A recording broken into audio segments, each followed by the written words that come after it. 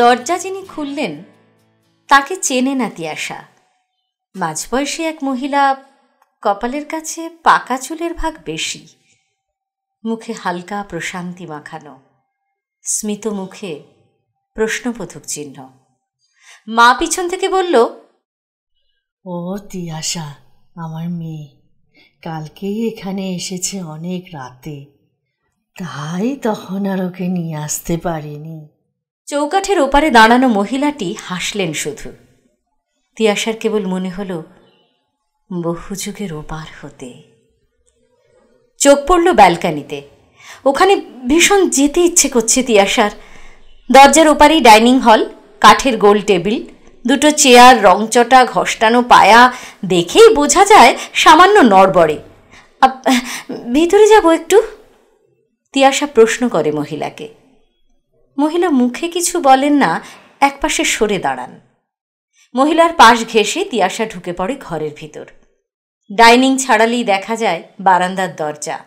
ফুলছাপ, synthetic পর্দা, হাওয়ায় অল্প উঠছে পর্দা সরালেই বাগান। পড়ে থাকা বাগান। অযত্নের জাল জড়ানো। বারান্দার রেলিংয়ে হাত রাখে তিয়াসা এই রেলিংয়ে চিবুক ঠাকানোর দিনগুলো ছুটে আসে তক্ষুনি একধারে সাবেক আমলের চুন, পলিস্তরা খসা বাড়ি। বয়সের ভার চেপে বসেছে ফুটি ফাটা দাগ চারিদিকে। চওড়া চাতালে সাপের খোলস। ভর দুপুরের শুনশান নৈশব্দ থেকে গোপনে একা হতে যাওয়ার ইচ্ছেগুলো বুড়বুড়ি কেটে উঠে আসে। কোন সেই পুরনো দিঘির ঠান্ডা, গভীর, কালো জলে রহস্যের বুদবুদ। গত রাতে বৃষ্টি হয়েছে খুব। শ্যাওলা ধরা দালানে লেগে আছে বৃষ্টির জল। সকাল না বিকেল, ঘোর লেগে থাকে মাথায়। আকাশের দিকে তাকাতে যাইতে আসা, এই এই বারান্দা দিয়ে দেখা যায় তার সেই ছেলেবেলার আকাশ। না না, কোনো আকাশ তো নেই কোথাও।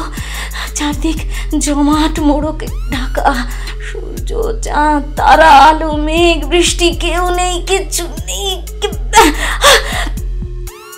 এই অবধি দেখেই ঘুম ভেঙে গেল তিয়াসার জানলার ওদিকে পাশের বিল্ডিংয়ের দোতলার ফ্ল্যাটের রান্নাঘর। চিমনির আওয়াজ বুঝিয়ে দিচ্ছে সেখানে রোজকার ব্যস্ততা শুরু হয়ে গিয়েছে। তিয়াশার আজ তাড়া নেই। ভেবেছিল সকালে অনেকক্ষণ ঘুমিয়ে পুষিয়ে নেবে অনেক না ঘুমোনো রাত। তার হলো কই? স্বপ্নটাও শেষ হলো না ওর। কোনো এককালে বিক্রি হয়ে যাওয়া সেই ছেলেবেলার বাড়ির ঠান্ডা, দেওয়ালের বারান্দায় গাল ঠেকিয়ে সবে ভাবছে আকাশটা দেখবে।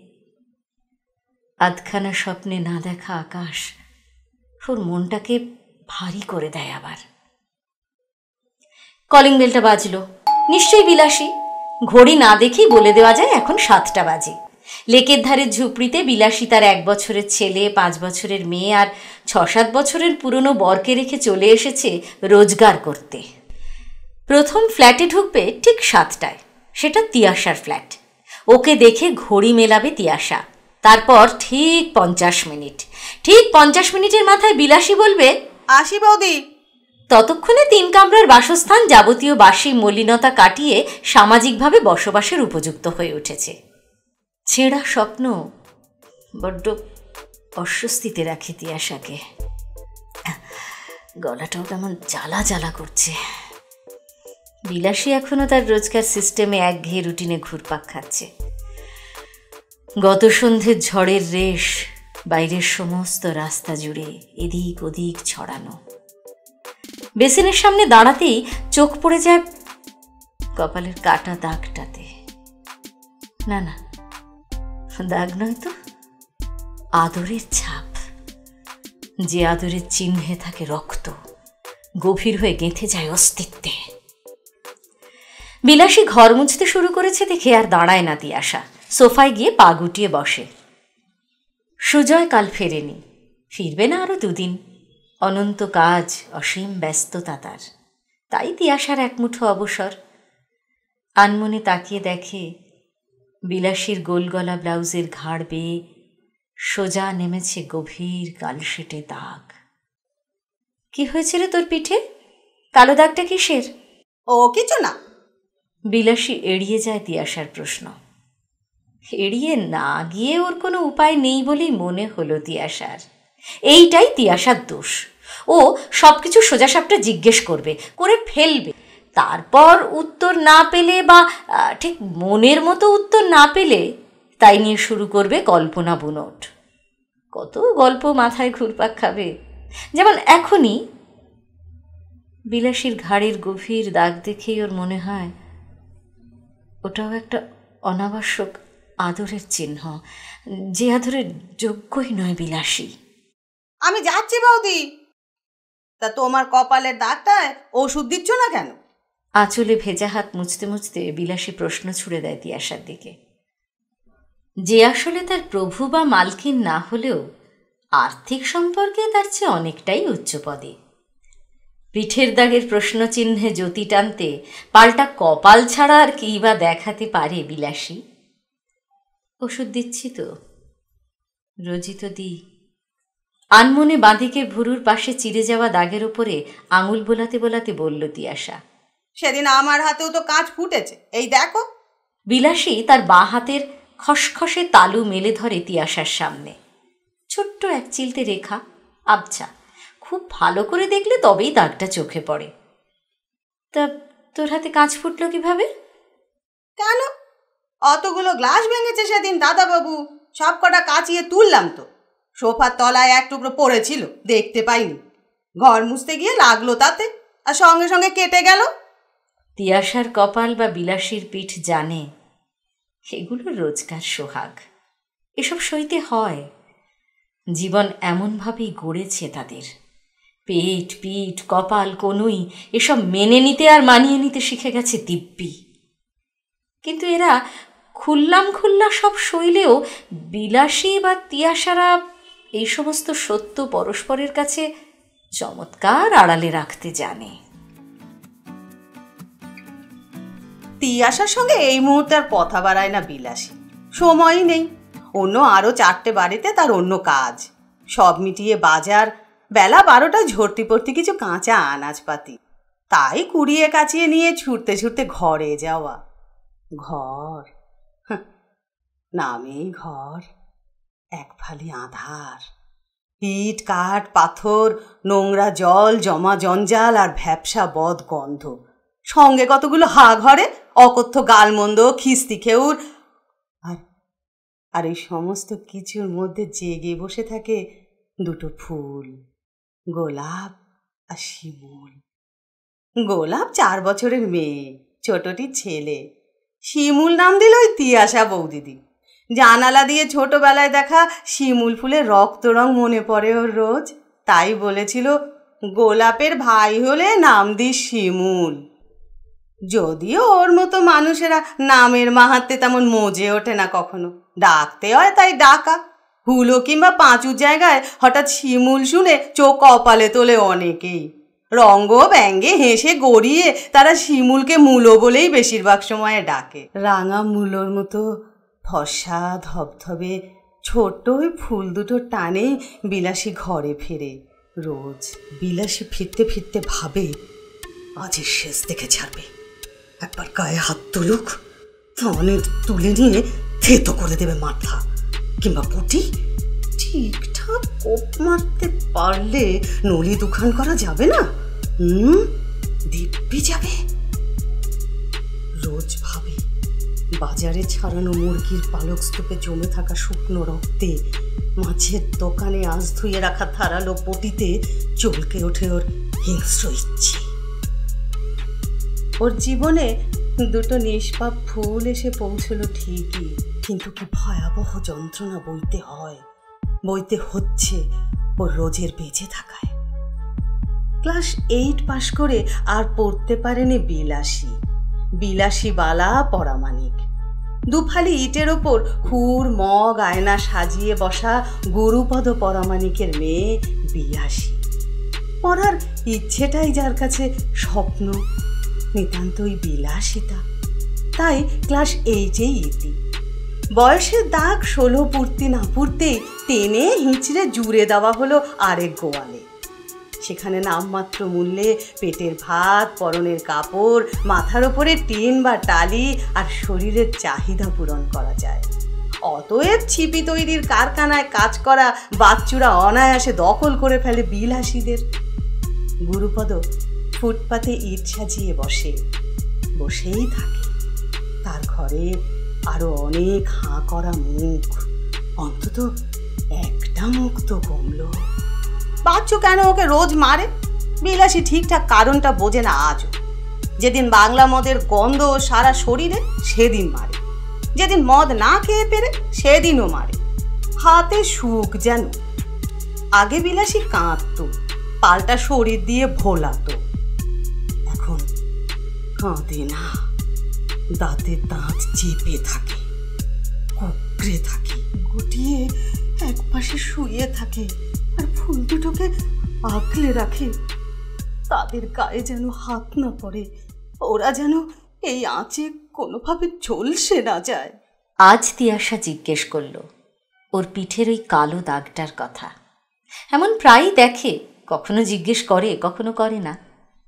কিন্তু তিয়াশা নিজেও তো সেই একই অভ্যেসের দাস।